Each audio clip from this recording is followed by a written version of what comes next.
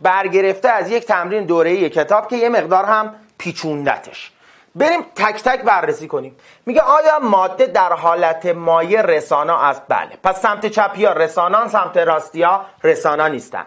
سمت چپ رسانا است میگه تو حالت جامد شکننده است. بله من می‌دونم که یونی ها در حالت جامد شکنندن و در حالت مایع رسانای جریان برقن. پس درسته.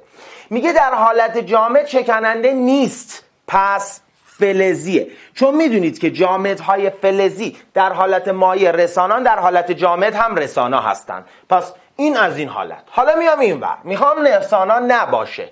حالا قراره که رسانا نباشه. میگه آیا در حالت جامد سخت است؟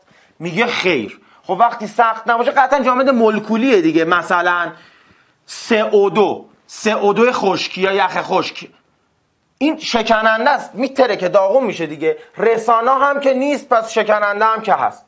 میگه آیا در حالت جامد سخت است؟ بله. در حالت جامد هم سخته. میگه آیا در حالت جامد سخته؟ و رسانا هم نباید باشه. گرافیت مثلا. پس اینو می‌گیریم کووالنسی آیا استاد رحیم چرا گرافیت گرافیت که می‌دونستم رساناه. آقا گفته در حالت مایع رسانا باشه.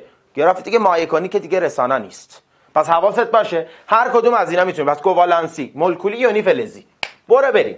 میگه مواد سی یعنی مواد مولکولی نسبت به یونی در گستره دمای بیشتری به حالت مایع غلط. یادت نره. مواد یونی اختلاف نقطه زوب و جوششون بیشتر از مواد مولکولیه.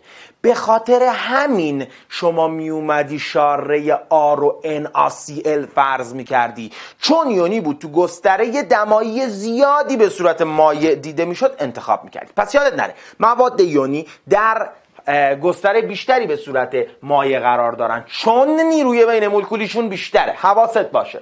پس این غلط.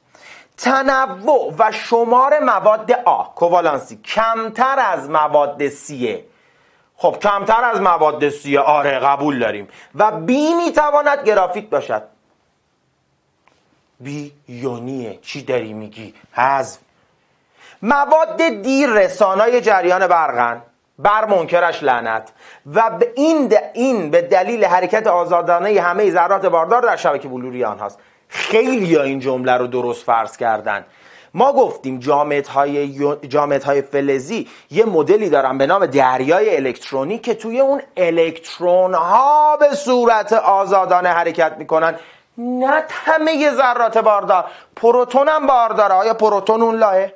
نه پروتون ها در جاهایی مستقر شدن الکترون ها در حال حرکتن. پس این جمله هم هست و قطعا باید گزینه چهار جواب باشه.